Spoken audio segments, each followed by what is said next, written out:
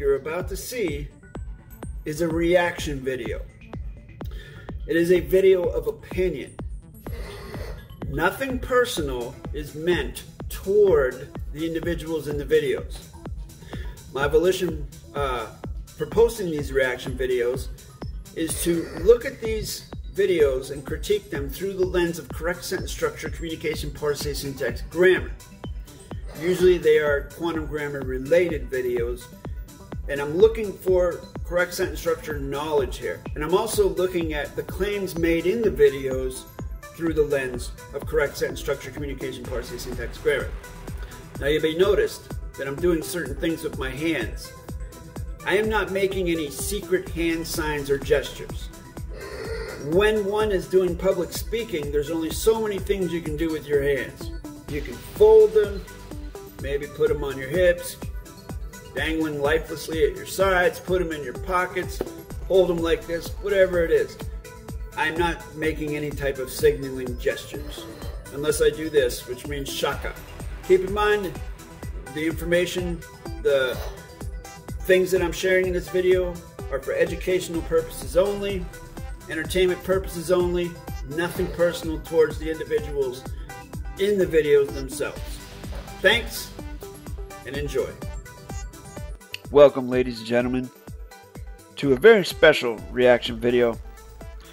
I'm pretty excited about this one uh, simply because of the subject matter. Uh, to tell the story behind the video, I actually started reacting to it and I did like, you know, five, ten minutes of it. And for some reason, it didn't record. So I had to do it over. I had never watched the video before. And in listening to the subject matter, a lot of things dawned on me having to do with the subject matter. And the subject matter is this this video is a reaction. The, the video that I'm reacting to is actually a reaction video in and of itself, where this guy right here you see with the 70s style open shirt, uh, bare chested type thing, He's an attorney, supposedly, a real attorney, and he's reacting to a telephone call between federal postal judge colon Leighton hyphen Lionel colon Ward and an attorney named uh, David Funkhouser and then uh, another I'm not sure if they're an attorney or what they are but another individual named Julia Kessner or Kessler I couldn't uh, figure out which name that was. But I know for sure it was David Funkhouser. So the context is this Leighton is a federal postal judge certified by colon David hyphen Wynn colon Miller and colon Russell hyphen J colon Gould. Okay? And he's serving like 23 years in prison. And I could never really figure out why this happened if indeed he is, you know, this was one of the things that caused me to doubt correct sentence structure when I was first learning it. So I was like, how can someone named a federal postal judge under David Wynn Miller and Russell J. Gould, how can they be in jail for 23 years for paper terrorism? Doesn't make any sense. Never got any clues as to why this was happening.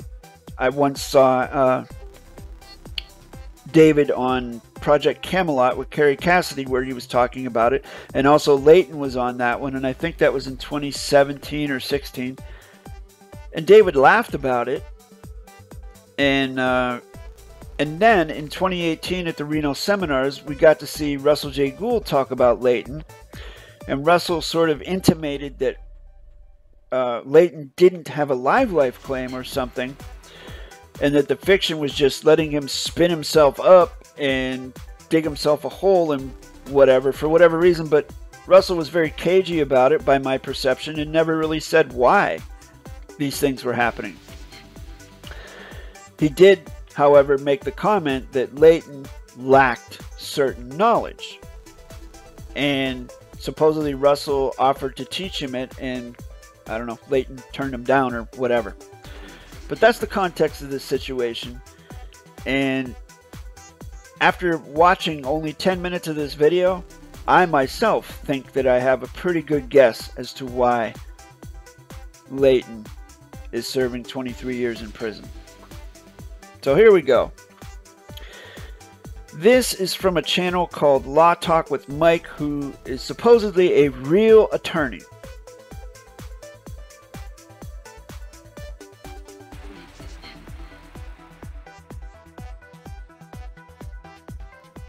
And there it is.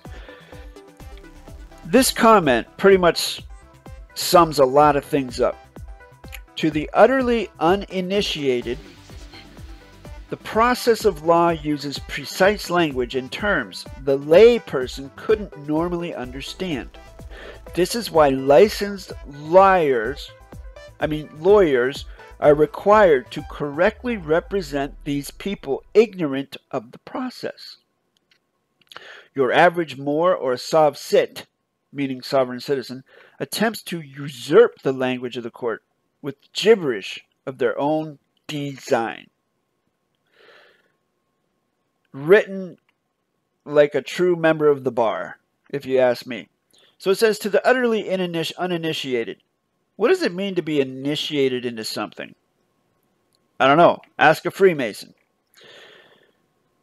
Or some member of a secret club, such as, well, not a secret club, but a private club known as the Bar Association.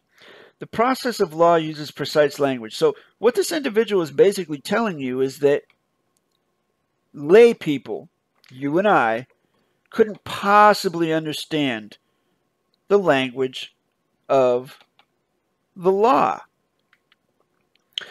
The law created by these people in this club. Why is that, ladies and gentlemen? If we are all created equal, we all come into this domain the same way. Rule one, rule equal. What could possibly be the reason for creating a set of laws with a language that you and I can't understand and only certain people can understand if they go to school for a certain number of years? Doesn't that sound a little strange to you? Doesn't that sound like an unfair advantage to do that? Hey, let's form a community. Okay, we got our community, we got all these people here, and blah, blah, blah. Now, in order to control these people, let's create laws using language that these people, these normal people can't understand, only we can understand it. And then we can charge them money because we have the bigger guns and clubs and we have the police and we have this and that and the third. And let's charge them money to participate with our little club so we can just continually make money off of them using language that they don't understand and only we understand, and so on and so forth. You see where I'm going with this? That's the whole thing with the fiction system. You can't tell me that it was created so that everyone could be equal. It's the exact opposite of that. And this comment shows that. Why wouldn't a regular everyday man or woman be able to go in and represent themselves as themselves in a case using regular, everyday, plain, simple English to solve a problem. Anyways, so let's get to it with this. Uh, what's his name? Uh, Mike, this real attorney. Let's go.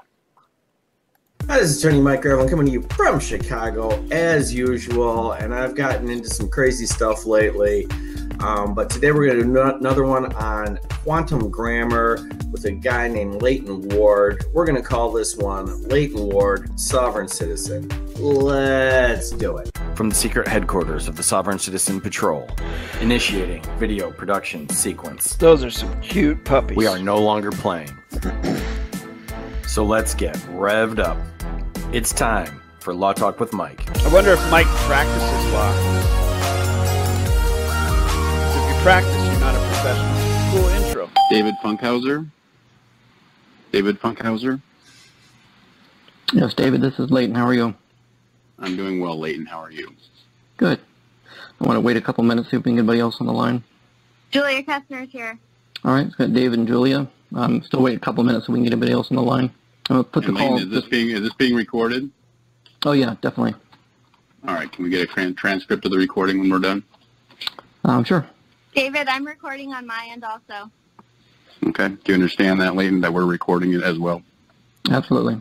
Okay, so this phone call is is pretty fun. It's uh, it's Leighton Ward talking to an attorney, and it's it's kind of interesting because usually the attorney handles it pretty well. So he says a lot of things that I would say. I feel like I'm taking the day off here, but uh, it's it's interesting to see uh, quantum grammar in action. All right, so that tells me two things about Mike. Number one, he's obviously heard this phone call before. Number two, he probably does not know the first thing about quantum grammar. Before we get started, are you or the court being represented at this time? I don't understand your question. Are you being represented by a lawyer, a real lawyer? Nope. Okay. Hmm, that's an interesting thing. Uh, David said, "Are you being you or the court being represented by a real lawyer?" What does that mean? Now he's recognized in some sort of court, I guess. But think about the word real. All right? This is why grammar is so important. In words and the closure and the meanings of those words. I'm going to show you. Like this guy right here, this Mike guy claims to be a real attorney, R E A L. All right? One way to solve the riddle of language and get down to the brass tacks of one word, one meaning, take the interpretation totally out of it. And I'm not talking about correct sentence structure, communication, parsing, syntax, grammar specifically. I'm talking about period, end of story in general. How can we get closure on one word, one meaning, even if you're just using plain simple English? One way is to parse the words that you're using, to know the meanings of the words you're using, to know the meanings of the particles of the words you're using.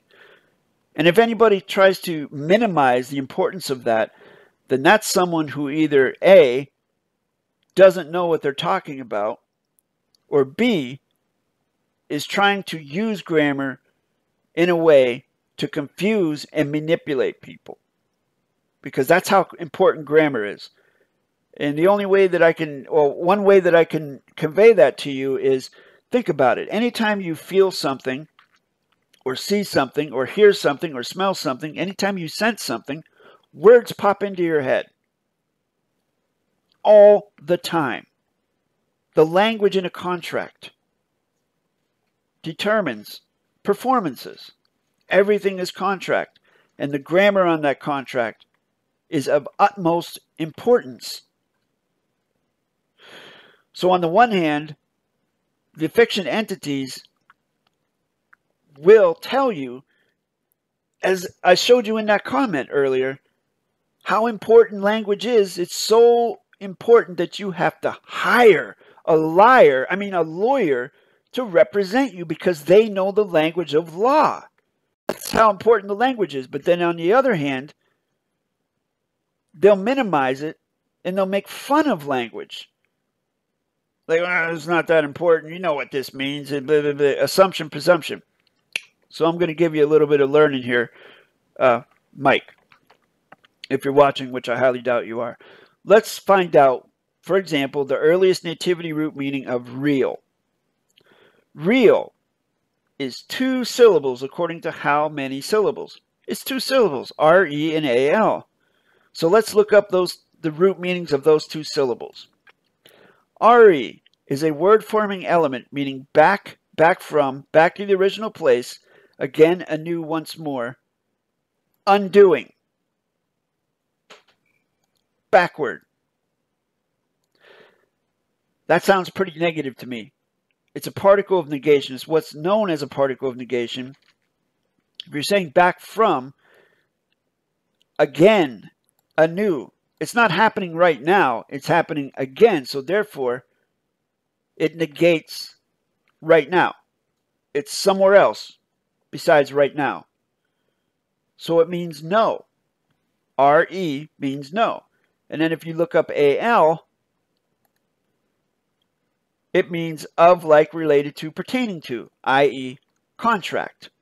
It has a contract with something. So R E A L literally means no contract. I've just shown you that. So if you're a real attorney, you're a no contract attorney. I'm going to put myself on mute just for a couple minutes. I want to see if anybody else is up on the call. So we're getting started. If anybody chimes in. We can find out who chimes in. Uh, first thing I want to go over is um, you guys, um, when you're writing a lawsuit or the stuff you guys writing, are you do you under, actually understand the parts of speech and the stuff you write? Okay. Right off the bat, ladies and gentlemen, what Leighton just said there set the tone for this entire phone call. And in my opinion, it's very unfortunate that this type of tone was set. Think of the context of the situation. Think of the balance of the honor and the grace and the consideration of the other contract parties he's speaking with. He's literally asking them this question, knowing that this David Funkhouser is an attorney who went to school, went to college for seven years, in addition to the other 12 years that he went to school. And also, I looked him up. He was designated as what they call, I think they call a super lawyer. That's how good he is, or how much he cases he he's won in the fiction system. So by Leighton doing this, he has set the tone of the conversation in a very condescending fashion. Now, yes, I realize that people like this Mike and David and any judge I've ever seen, they are the purveyors of condescension, sarcastic, condescending, and a lot of times arrogant just because of that knowledge that they have, suppose, I suppose. It sets them above everyone else because they know the special language and the secret handshakes that us us common folk don't know. Well, hmm. Leighton is using that same type of tactic. Although he's not being extremely blatant about it, he's just started off on a very condescending tone. Oh. Yes, Leighton. I went to law school. I understand how to write.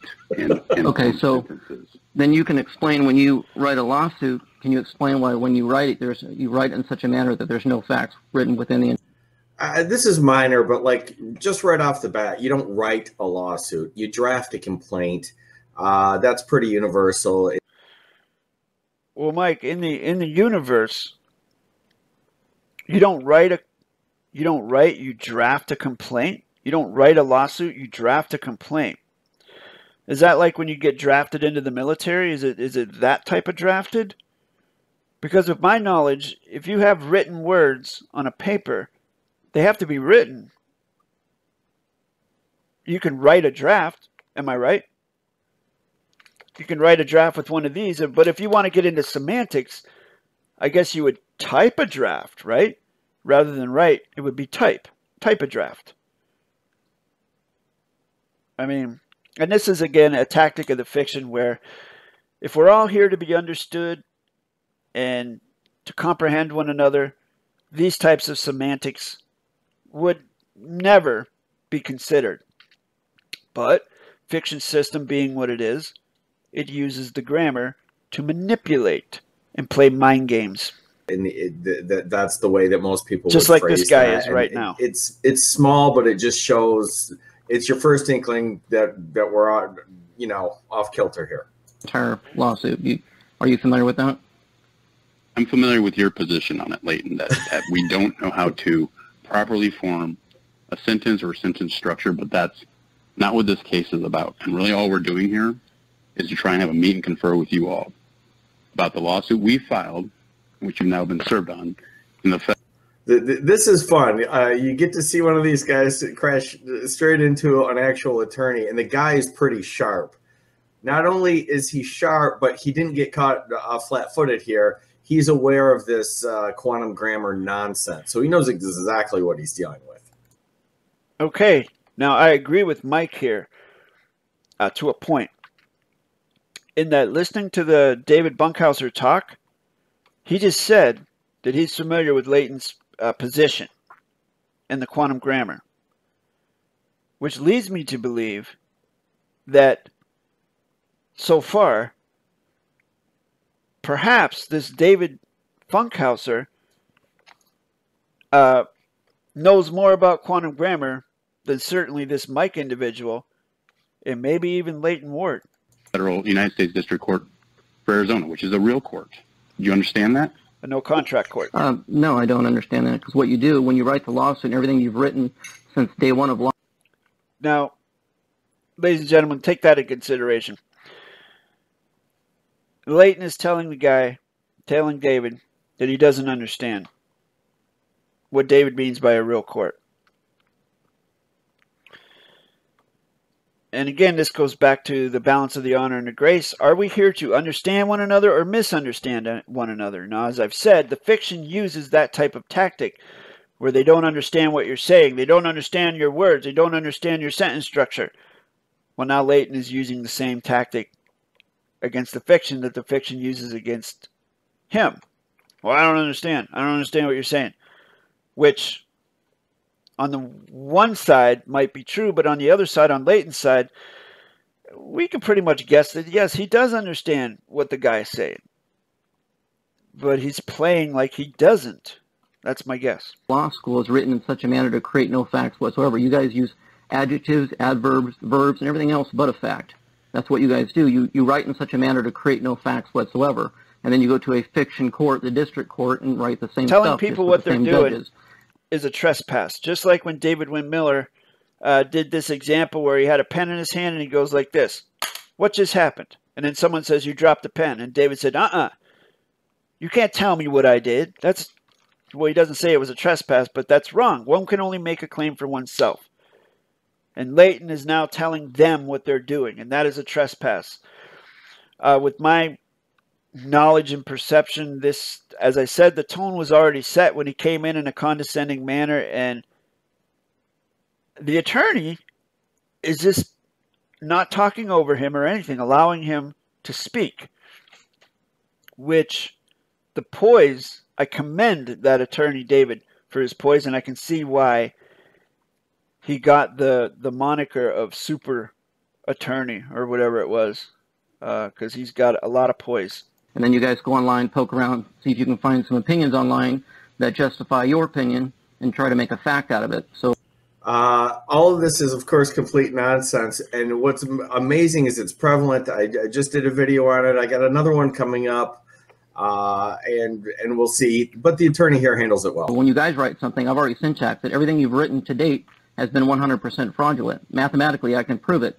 And you guys That- have that served sounds from us amazing. just That the must- same. that- well, okay, are you done? Let me What just see. sounds amazing. Uh, it sounds amazing is that you guys write documents, but you don't know how to write a fact. That's amazing to me.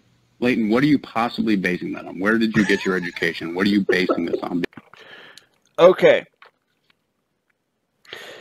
This is, I've heard um, enough to this point to say that I feel like this attorney, David Bunkhauser, he's a pro. He knows what he's doing, he's done his homework. Whether he has closure on the grammar or not, I don't know. But it's obvious to me, with my perception and my experience of doing this, that he knows enough about it to know that Leighton probably doesn't know what he's talking about and probably doesn't have closure on what he's talking about. And I feel as though David Bunkhauser basically, from the beginning, handed Leighton a shovel and is allowing Leighton to dig his own hole. Unfortunately, that's what it looks like. because everything we've filed has been consistent with what our previous filings in, in court, including the United States District Court for the District of Arizona, which is an Article 3 court under the Constitution of the United States. That is a real court. Your court is not. Well, that's your opinion of it. No, no, that's true. That's true. It's a fiction court under those fiction rules and fiction guidelines. That's what it is. And unfortunately, as Leighton's moving on here, Leighton's trying to tell them what they're doing or what they're not doing, what they have closure on, what they don't have closure on. But what's missing here, folks? Closure. If you're going to tell someone that they don't have closure or they're doing this, that, or the third, if they're using a fictitious conveyance of grammar, you have to be able to show them why it is and explain to them and teach them why it is you're saying that. And this attorney, David Bunkhauser, I'm sorry, Funkhouser, has given Leighton multiple opportunities so far in these, you know, four minutes to do that. And Leighton has not taken the now space to do that. Leighton just continues, basically, from my perception, to parrot what he's probably heard David Wynn Miller say over and over and time again. That's what it seems like to me. It seems like he's just repeating things verbatim that he's heard other people say because he's not giving any closure to what he's saying. Um, he's not giving any weight or substance to it. As I've said many, many times in the past, if you speak with someone, a Vasily of the fiction system, and you know what you're talking about, even if they don't know what it is you're talking about, if you know what it is you're talking about and they know you know, it'll have a you'll have a positive outcome. It'll work out the way it's supposed to work out. But if you don't know what you're talking about, if they have any type of uh, legal knowledge, they will know that. Even if they don't have legal knowledge, they'll know you're full of crap and things are not going to go good for you. And that's what I think is happening here. I think that this uh, attorney David is has determined that Leighton um, has a lot of bark but no bite. I don't know exactly what he means by uh, his court, but I imagine it's similar to the Russell J. Gould uh, federal postal court. I, will put a link to that in the description below. It's the same. It's the same concept, but ooh, is it not a real court? well, I don't know whether it's a real court or not, meaning a no contract court. Here's the thing, as I said earlier, rule one, rule equal. Mike, if you're watching this, do you agree that we all come into onto this earth uh, the same way? We all put our pants on one pant leg at a time right? We all wipe our own butts. Okay? Anyone can create a court. Anyone. Just because you got some dude wearing a black dress doesn't make them any more capable of knowledgeable of creating a court than a normal everyday lay person. Although we are led to believe that and led to, you know, taught that through the authoritarian system, if you know what it is you're doing and you have full command of, of your construct, of course you can create a court. Um, I mean, there's mistakes when you do these types of things and you go into these foreign vessels in dry dock, i.e., as he calls them, real courts. There are certain mechanics and certain logistics that go on that you have to know about because you definitely have to know what you're doing. Um, I'm not going to go into that here, but I feel like I feel like Leighton does not possess that knowledge, unfortunately. And as I said, I feel like he's just, you know, digging the hole deeper and deeper. Again, you're stating opinions. You don't know how to state a fact, and that's something you guys have never been trained to do. You think you're correct, and you think you're stating facts, but you say nothing but opinions, just like every single document you've ever written. And that's why I ask you guys to complete the, the charity project on the advocacy for consumer rights. It's a real simple project. You simply write a, a one over every adverb, a two over a verb, and so forth and so on. And ladies and gentlemen, do you hear the condescension in his voice? I don't really see how someone in his position, which was a very, very serious position, facing jail time, would think in any domain or any uh, venue would speak to another individual like this. It's a very simple process. I mean, this is why I try to teach uh, my students to be calm, collected, use kindness, honor, grace, peace, neutrality, rule one, rule equal. I mean, colon David Eifen colon Miller may be able to get away with coming in and telling people they have a second grade reading level, but I would highly recommend not you or I not saying that to someone because that's just so so condescending and it's just getting stuff off on the wrong foot, you know? That's a real bad way to start things off, especially when you're in this type of scenario. I haven't seen you guys complete that project. That would let me know that you guys actually know what a fact is. At this Uh, you could ask us to do all sorts of other crazy things that we're not going to participate in too.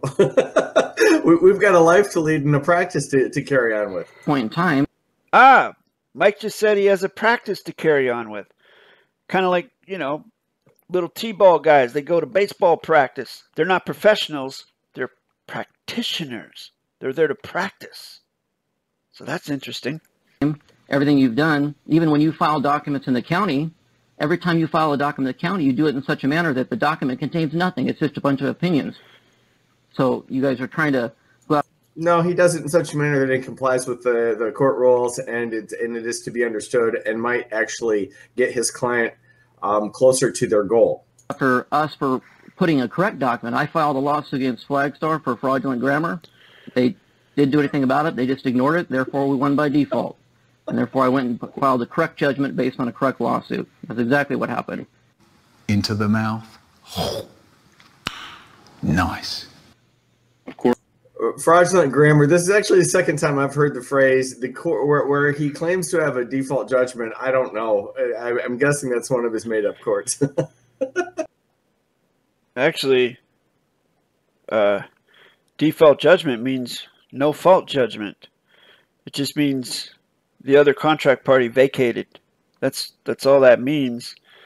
Um, and this individual is doing the same thing again. You know, like the fiction does. They pretend like they don't understand what's going on uh, when they actually do know what's going on. If this guy's an attorney, if he went to school for seven years to be a, a liar, lawyer, um, then he knows what a default judgment is, right? in Unicorn Land. of course they ignored it, Leighton, because it's not a real thing. You you sent us a bunch of weird stuff and that nobody follows, that you've never provided. Anybody besides you and the judge of your fictional court are the only ones that write like this, and you think you have a basis for a lawsuit, and you don't. And I'm telling you, and this is the reason for the lawsuit that we filed against you. You have you have issued a false judgment, and you have also issued a judgment or a writ that's been affected by Mr. Bullmiller's uh, property. He called us the other day, was very uh, sympathetic for getting our our client into this, and he has now recorded a release of those same uh, silly documents. He's still probably going to be on the hook for our attorney's fees and costs, and I've told him that. So even if we get this resolved with Mr. Bullmiller, that doesn't get us resolved with you and the alleged federal postal court. So that's the purpose of this conversation, is to decide whether we can come to some resolution here, or if we're going to have to litigate this matter in, again, a real court.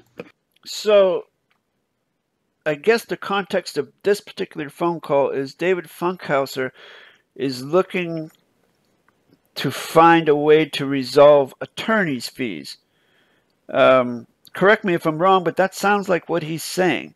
That this phone call, that he's willing to negotiate um, with Leighton for David's time and energy in doing whatever he's doing, which is how he makes a living. Okay? Whatever you may think of that, or I may think of that, that that's what sounds like what's going on. He's open to negotiating.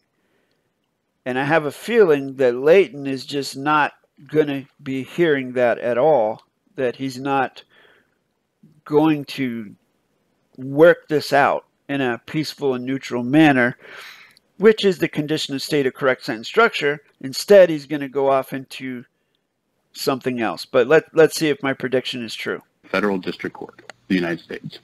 Can you identify the parts of speech in the words you just said? No, I'm not Leighton. I don't. Why would I do that? I know how to write. I went to seven years of college. Did you go to seven years of college? I don't need to go to seven-year college to learn something you don't know how to write to begin with. Like I said, when you're speaking right now, every single word coming out of your mouth, there are no facts ladies and gentlemen, I know, I know this man's laughing, and I know that, that other people may be laughing, but to me, this is sad. This is this makes me this makes me feel sad. My sensation is sadness at this point because I know this man is doing 23 years in prison uh, because of things like this. Um, what he just said there is is flat out ridiculous. Flat out ridiculous. They've been speaking in plain English, plain simple English the whole time, verbally communicating in the trade medium of, of plain English. And now all of a sudden, Leighton is asking this guy to identify the of speech of the things he's saying. He's verbalizing, implying or implicating that David is using uh, adverb, adjective, pronoun, fiction, babble, right? So Leighton is is requesting that David syntax the words he's verbalizing. When Leighton has been using the same manner, the same conveyance of articulation as David. So my earlier assessment that this David Funkhouser has more knowledge of quantum grammar than either this Mike guy or Leighton Lionel Ward, I'd have to say that I'm pretty close to the mark on that assessment. And anything you say, it's simply opinions. You're using adjectives and adverbs to modify every single word that normally would have been a fact, just like what you do in your writings.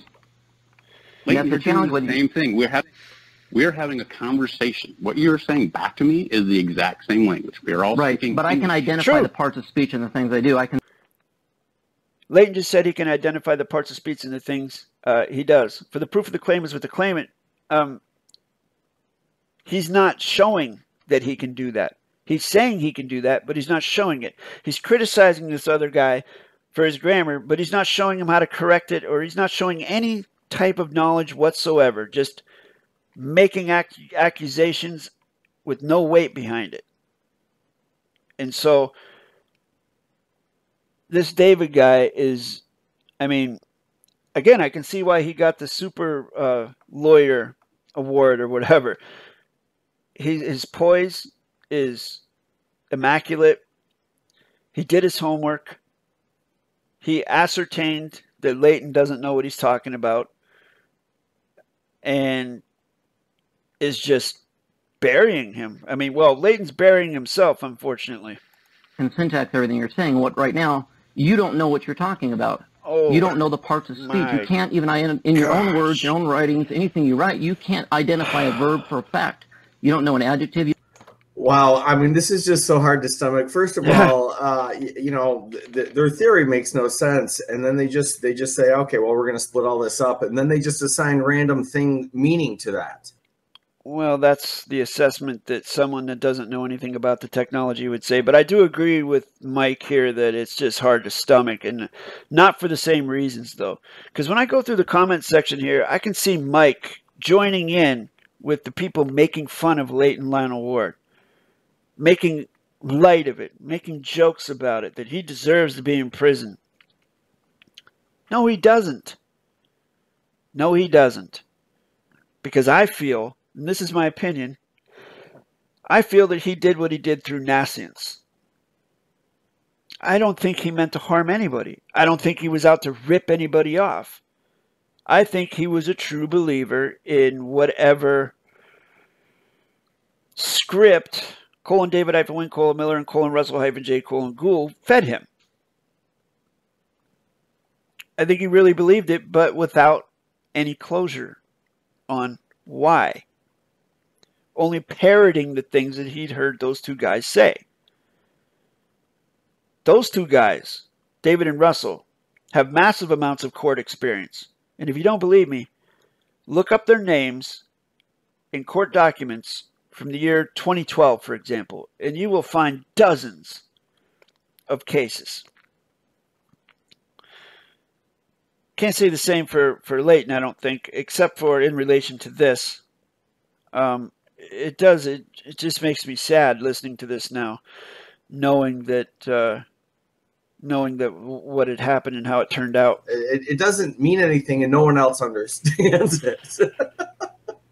but for some reason, uh, th- this is caught on, and and you hear And it really shows me this guy's character that he would find it funny that another human being, another non-violent human being, has been put in prison with rapists and murderers.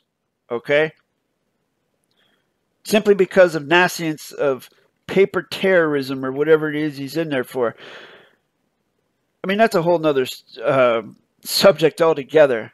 I mean, I personally feel that, you know, things like prisons should be for violent offenders. Period. End of story.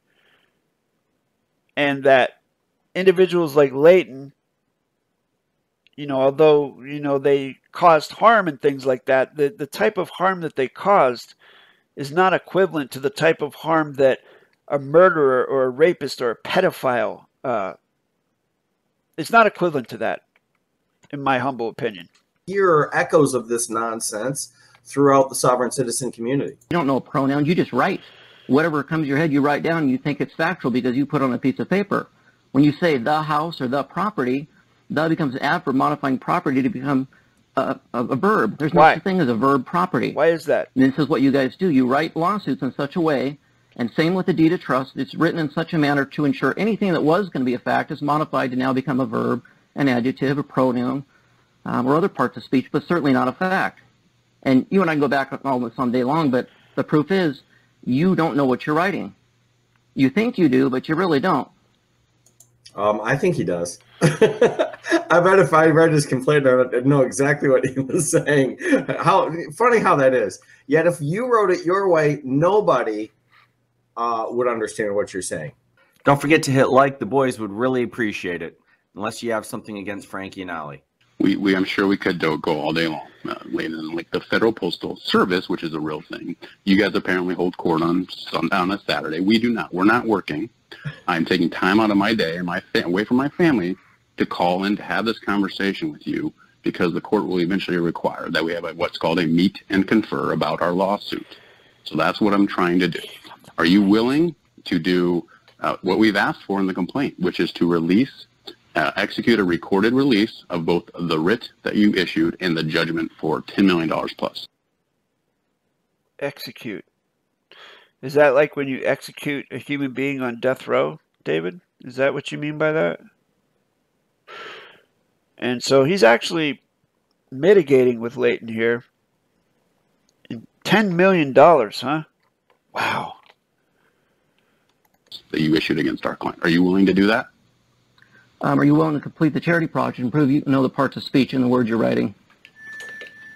No, Leighton, I have other things to do. I have other clients, and I'm not even going to get. I mean, has anybody ever agreed with you besides the uh, judge of your alleged court? Who has actually agreed with you? A third party objective agreement on what you guys are doing. It goes back to the point, are you willing to complete the charity project and write out the parts of speech in your own lawsuit even?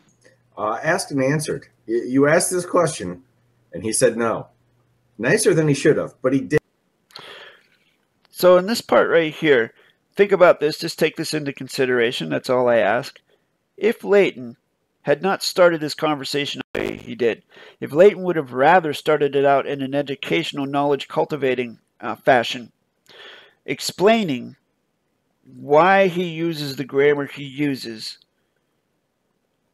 and what the parts of speech are, what they mean, what modification is, the importance of grammar, as I explained it to you earlier in the video, rule one, rule equal. At this point, um, he could have, I think, perhaps, maybe had a favorable outcome if he wouldn't have gone into right into that mode that he went into. It's just a guess on my part, of course. You know, it's he said, she said, oh, woulda, coulda, shoulda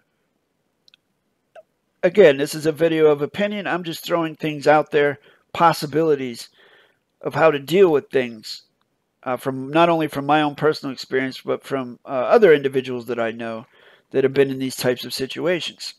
Did in fact say no. Can you can you identify the part? Perhaps David maybe would have played along with this or vacated. You never know. Certainly, I mean, I would enjoy a conversation with David Funkhouser. Um, I'm going to actually tag him in this video with a hashtag. I mean, I don't know what good that does. I'm not a tech guy, but uh, I'm actually going to tag him in this, and you know, maybe something will come of it. I'd enjoy uh, a conversation with that individual because he seems to know at least a, a little bit about it. Already, in it's your own already office. set out. No, it's set out. The judge has not taken issue with our pleadings. He's going to take an issue, I think, with the answer you filed because it's not an answer. Oh yeah. So he's either the judge is. It wasn't an answer. I either sued you guys to- for fraudulent grammar. That's what happened. So you got 48 you days to haven't sued us. back You, you've sent 48 days is a generous timeline there. Does something from your silly court that we're not going to respond to, and the judge's order yesterday So here's another interesting thing, ladies and gentlemen, that I'm going to point out to you, which also indicates or is indicative of a lack of knowledge on Leighton's part, is that he's playing along with this judge thing that he's coming in under the judge, under the fiction system, right now as we speak. He hasn't spoke up about his position or anything like that. He is basically, you know, silence is consent, consenting to being subversive or subservient to the judge, the fiction judge that this David guy is referring to. So that that's mind-boggling. That someone who is supposedly a federal postal judge under David Wynn and Russell J. Gould would have this severe lack of knowledge. I am by no means a legal or lawful authority on fiction, uh, laws, rules, codes, how to be an attorney, how to be a judge, or anything like that. I'm ignorant to that stuff. What I go with is the logic of what how things work, rule one, rule equal, and how contract works. Contract is the same wherever, whenever you are. Not whenever, why did I say that? Wherever you are, contract is the same uh, terms and conditions. And logic, if you are able to convey it in, a, in an articulate, peaceful, neutral, calm manner, will always, always come through and cut through the BS. And so that's how I figured these things out about judge mechanics. And Leighton has basically made himself sort of like a vassally to the judge. I mean, he's he's submitted to the judge's authority in this. Wow. said we don't have to do that. He wouldn't even get on or participate in this court because you've sued him as well. Isn't that correct? That's Judge exactly Steven right. Logan, a United States District Court, you've also judge you've also sued. It's all in the law, so you guys to read it. Well, I I don't know if you guys can actually read it because I don't like you guys can read a fact. No, I can't Oh, read it because it's a bunch of gibberish crap, and I'm not going to take time to read it. I'm not going to take time to read something that doesn't make any sense, and nor is the court. And neither you've sued or tried to sue a United States District Court judge. I think that's going to have very bad ramifications for you, Leighton. So I would give Again, a second again, you got to No kidding. So it goes back to the point. Wow. Um, if you guys can complete the charity project, that proves to me you guys have some sort of idea what you're actually talking about. But at this point, doesn't sound like you want to complete that or do anything in that matter when it comes to grammar. You assume you're going to be correct on everything, but it goes back to the point where you guys don't know what you're actually writing, and you've never known what you're. I, I assume he's gonna be correct on everything too. just, just my gut. you're writing. You just write whatever you feel like, and you think it becomes a fact because you put it on a piece of paper. So that, that goes down to it. It all goes down to grammar. What, what Oh Lord, it all goes down to grammar. No, it doesn't. Uh, grammar's in there to the extent that we're talking about grammar. What these people are suggesting is completely wrong, absurd, and doesn't follow any rules or make any sense. But it, it really does get down. Ultimately, in these cases, I've been litigating for almost 25 years now. It really gets down to the facts and the, and the law. I, it, Mike, I'm addressing you directly. It does come down to the grammar. In order to have a law, you must have grammar. If you don't have grammar, or a trade medium with which to articulate your laws. There are no laws. And this is another example, in my opinion, of someone from the fiction minimizing grammar, but at the same time saying the opposite. I go back to the comment at the beginning that I shared. A legal language that the normal layperson can't understand. So you got to hire someone like this and pay them $2,000 retainer and pay them, you know, 50 to $100 per email or phone call because you don't know how to talk. oh my goodness. Entertaining anyways. It, it, as it should. That, that's how it works. What charity? What? Why do you say it's a charity? What kind of charity are you running? It's called the I'm Charity involved with Project. charities, Leighton. Real charities, 501c3 organizations. Is that what you're talking about? You can tell the information I already gave it to you, so you can whether you took So now, Leighton, it appears, has run out to the end of his uh, rope of knowledge here. Um, this attorney, David, again, I I have to give him props for the performance here. He has literally run circles around Leighton Lionel Ward. it's time to study or not. I don't know. I I did not, and like I said, I'm not going to. So Okay. uh, it sounds like we're at an impasse here. You, you're not going to agree to do the requested, the items we requested in our lawsuit, and we're not going to do your quote unquote charity. I'm not. I'm not going to release. If Jeff B. Miller wants to record or release it, that's his own business. I'm not going. to He just said Judge Miller.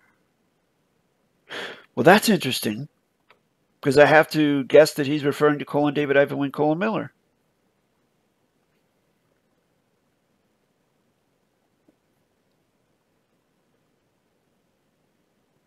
This begs the question why is Leighton serving 20 some years in prison? Yet David Wynn Miller, nothing happened to him, and he's involved. record or release the judge. The documents filed in the county are 100% correct. Mathematically, they're 100% correct. So if he wants to do that, that's on his own. He can do that. That's his choice. I'm not. And also, this implies that colon David Wynn colon Miller, at most, authored the documents that Leighton's referring to, or at least co-authored them, or at least least um, gave it the okay. This is some interesting and unsettling to me uh, information that I didn't know. I'm going to release the judgment. That's his choice. Well, I, I can tell you as a as an attorney, and again, a guy who studied a lot of math, you you, you don't make um, judgments regarding sentence structure via mathematics. Well, that's true, what he's saying here. However, the mathematical interface in the grammar is only such that the facts in the correct sentence structure maintain their integrity and value forwards and backwards, just like a math problem. 1 plus 2 equals 3, 3 minus 2 equals 1. Correct sentence structure works the same way. That's what Leighton's talking about. However, I really can't say for sure if Leighton comprehends that. That that's insane.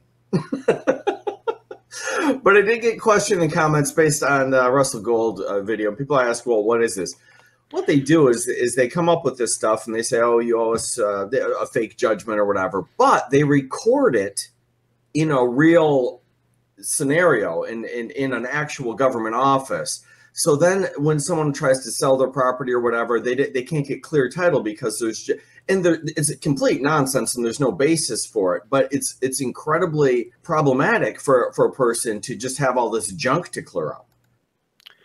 Okay, so now that that's what I was looking for right there. Thank you, Mike, uh, for for giving me that little bit of data there.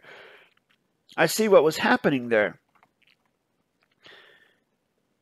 Definitely, definitely, Lionel or Leighton does not have closure on the grammar or even the mechanics of how to use it in that type of scenario. Um, if if that's what was happening, and I can see how in the fiction how that would cause a lot of monetary damage to people if that's the way they were doing it. That's crazy, and that, to think that colon David Ifa colon Miller would be involved in that and stand by and and and let that stuff happen? That's I, I can see how it could be construed as as um, well the way it was construed. Wow.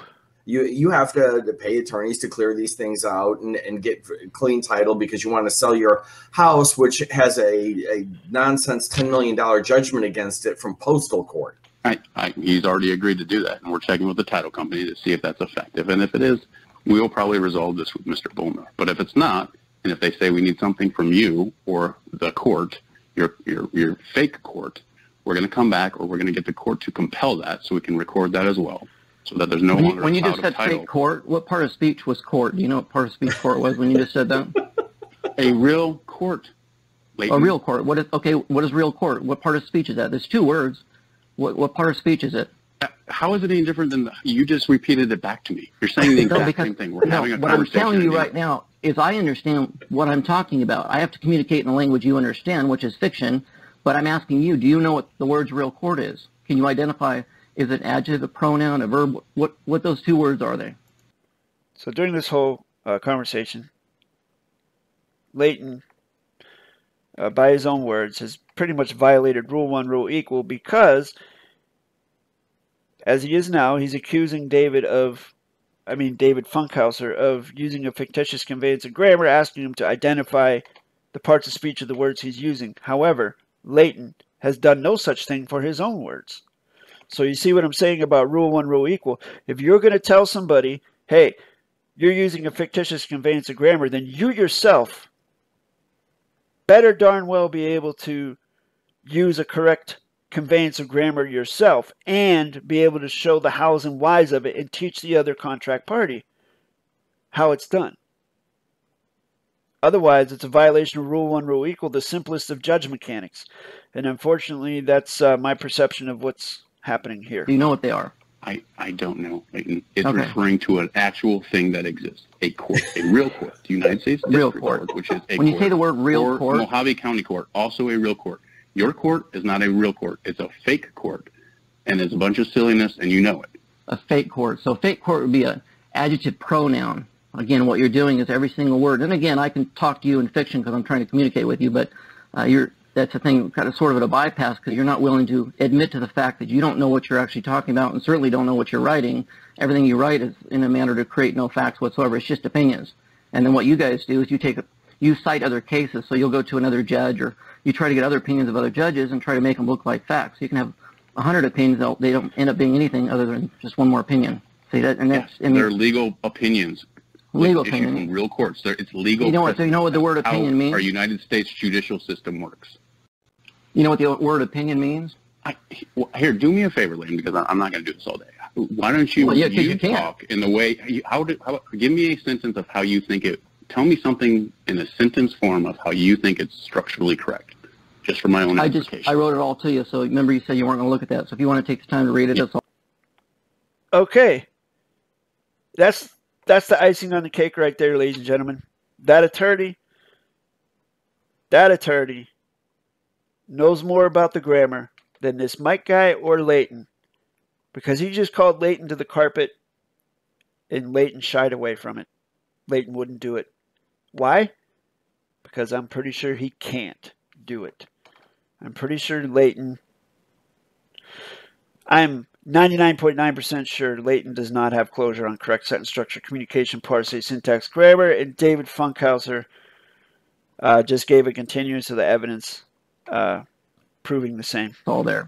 Mathematically, I'm, not, I'm asking yeah. you because you're asking me. I'm asking you questions, and you're asking how, what's between the and what's the good for the goose is good for the gander. I'm just curious. Well, you do a five, six, seven position loadial fact. It will be for the court.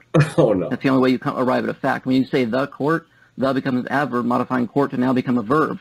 You're making court to be. There's no such thing as a verb court. See, that's what happens when you write your lawsuits. When you write anything, you write it to create everything that would have been a fact. You guys modify it to be verbs, adjectives, pronouns, um, or everything else but a fact.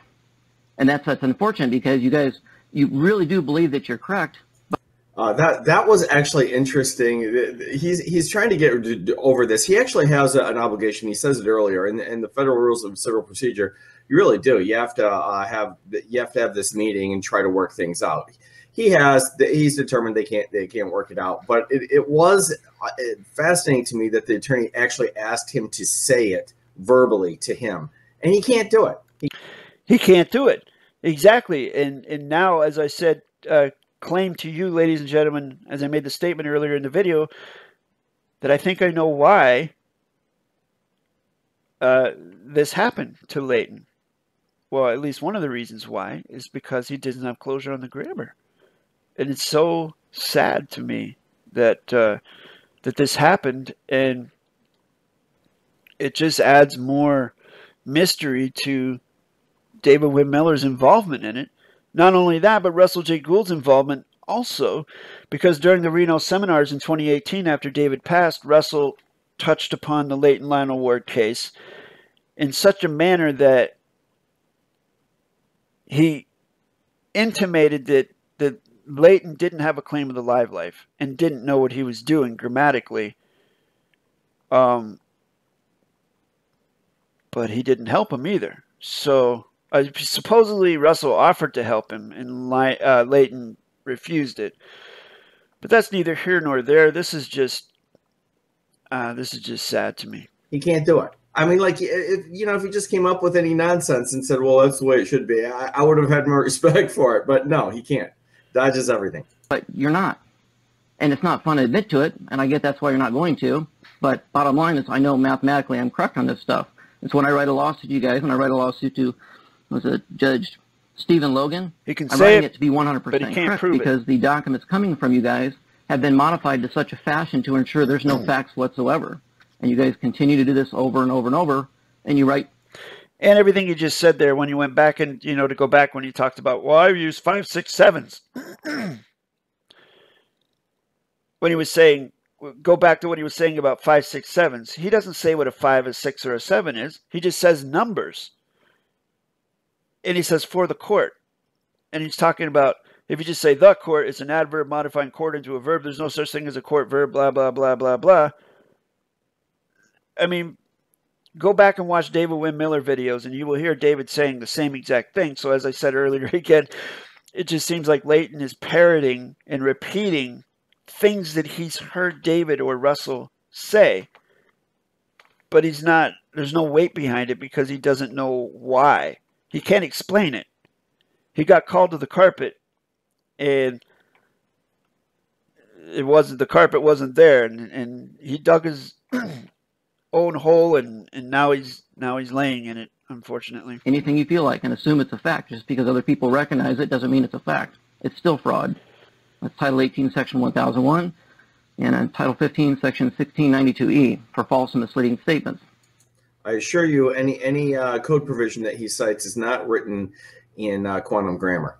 So I, I don't know why he thinks that all of a sudden has has some vested authority. well mike i would tell you uh, the reason is because um, the individual that leighton referred to as judge miller translated uh, those codes or, or statutes or whatever into quantum grammar. So yes, they do exist in quantum grammar. Well, actually, to be more specific, it's a quasi quantum grammar. But I hope you get my drift. Okay, we're obviously going to have to agree to disagree on that, Leighton, 100%. on, on who's right and who's wrong here. I'm humble enough to know that sometimes I'm wrong, but I'm not going to be wrong on this. We are going to. this is not going to end. Brother, you're not wrong here. No, he's he's You right. got it. I agree It's with not Mike end and well for David. you. Again, David's if you right. can't maintain this case. having Judge Logan in this case, I don't think that's going to work out well for you. And let me put you on notice. If you try and do anything with this lawsuit, quote unquote lawsuit against me or, or worse, my associate, uh, Julia, who's on this, if you try and execute or record any writs or judgments there or here, that's not going to go well because I'm going to move immediately to have those invalidated under 33420, which is a real statute in the state in which we live on, and I will get actual and statutory damages against you guys. And we will then send out the Mohave County Sheriff's Department, who's a real group and a real sheriff, to put a writ on everything you guys have out there, including your court, your eagle symbol, whatever we can, and we're going to sell it. And that's how it's going to end. So let me be clear.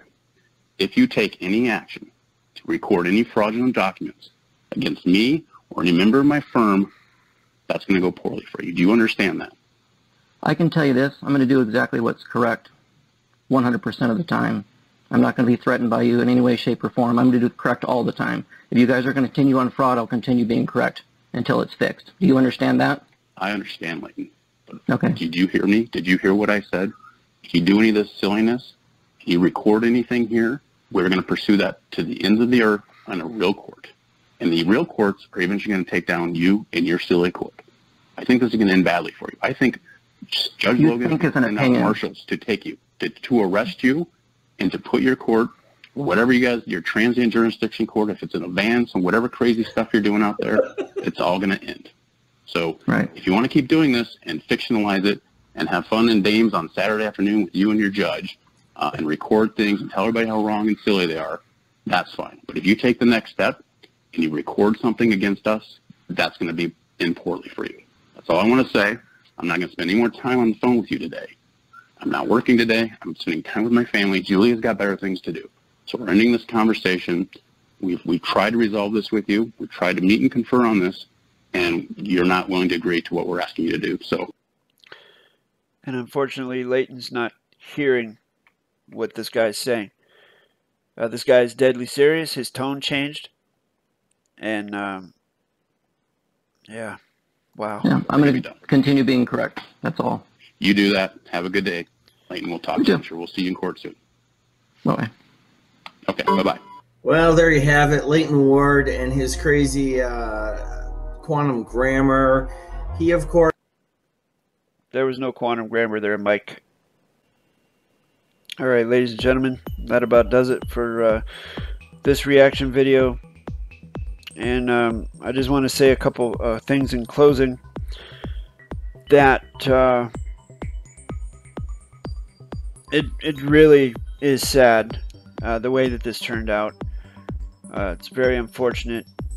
Um, the fact that that, the, that Mike told us what was happening and that Leighton was accepting money uh, to do these things, and that's basically ripping people off because well, through nescience or whatever.